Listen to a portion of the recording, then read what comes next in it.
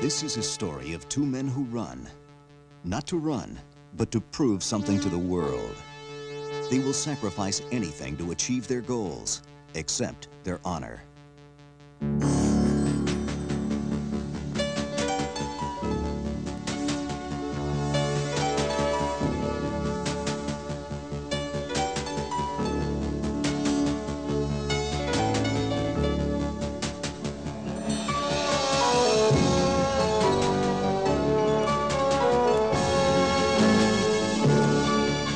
Chariots of Fire has received unanimous critical acclaim.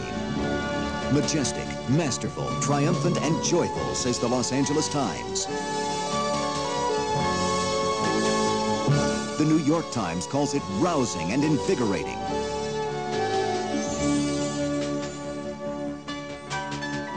ABC TV says you'll be riveted, enthralled, and you'll cheer like crazy.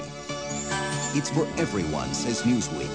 And the New York Daily News promises it will lift your spirits to a new high.